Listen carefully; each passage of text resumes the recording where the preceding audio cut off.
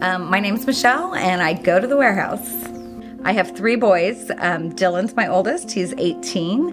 I have Jake, who's 15, and my youngest is Hunter, who's 8. I'm a second grade teacher, and I enjoy teaching because I love building and growing the little minds of our little people.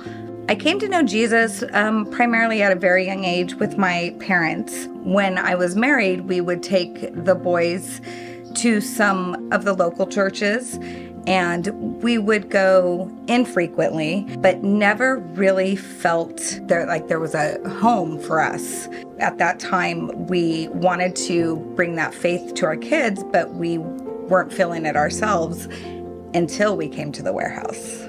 The journey was basically my 15 year old or 15 year old now is the one who started coming here and then slowly but surely, me and the other three joined him. when my middle son was maybe 10 at the time and developed a close friendship with Gavin, Gavin started bringing him to youth group and then they would start to go to the youth camps. And Kelly, Gavin's mom, and I became close friends. And in talking with her about some of the struggles I was having at the time, she had invited me to come here.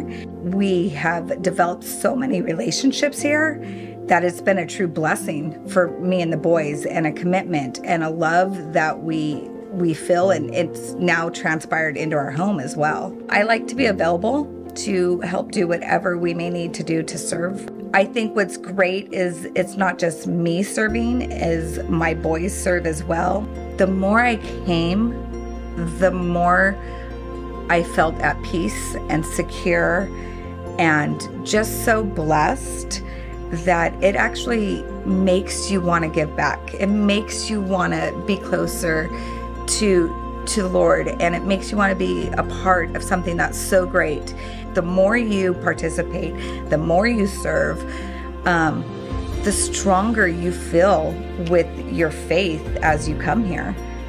Even though it may take someone a little bit of time to feel comfortable, um, they will never walk alone here. They will always have someone.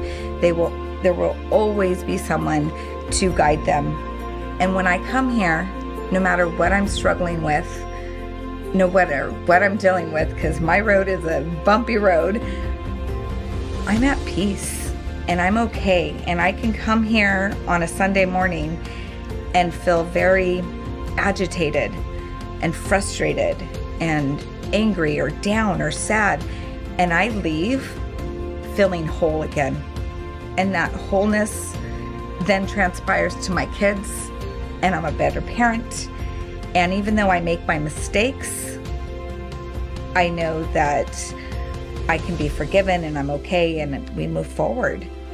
And I think really that that closeness here it's beyond anything else anywhere I can explain. And I've shopped around. So, you know, I feel really good coming to the warehouse and having my boys be here. And that is really true.